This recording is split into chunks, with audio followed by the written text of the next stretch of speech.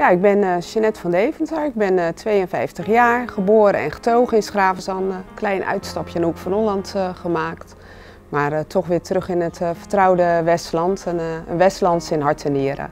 Ik volg Team Westland eigenlijk al jaren op de voet. En ik dacht altijd van, Ooit ga ik ook zelf een keer die berg op. Mijn grootste motivatie is uiteraard om heel veel geld ook binnen te halen. En uh, in mijn familie gaat kanker als een rode draad uh, door alle generaties uh, toe, doorheen. Vooral bij de familie van Deventer.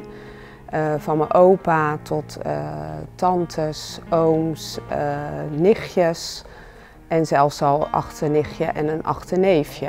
En al een, ja, een vriendin van uh, mijn beste vriendin, dus, maar ja, die ken ik ook al, of kon ik al 20 jaar, nou 47 jaar, negen maanden tijd weg. En uh, in november heeft een uh, vriendin van mij, heb ik helemaal begeleid in een zwaar traject, een zeer zeldzame vorm van kanker.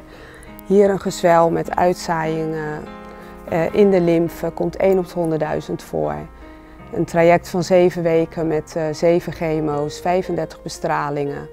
En dan nog maar de vraag hè, of het allemaal uh, weg is. Nou, het is op dit moment weg, want dan zit je ook in dat ziekenhuis.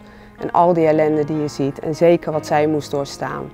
Toen dacht ik van, nu ga ik me opgeven. Dus ik heb eigenlijk zoveel om voor te fietsen. En ook zelfs aan mijn moeders kant komt het voor. Dus uh, ja, te veel om voor te fietsen. Dus ik zou hem liefst tien keer omhoog gaan, maar dat zal niet lukken.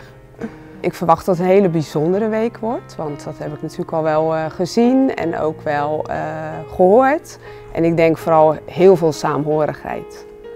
Ja, ik, uh, ik vind het altijd zo mooi om te zien wat het Westland met elkaar kan doen.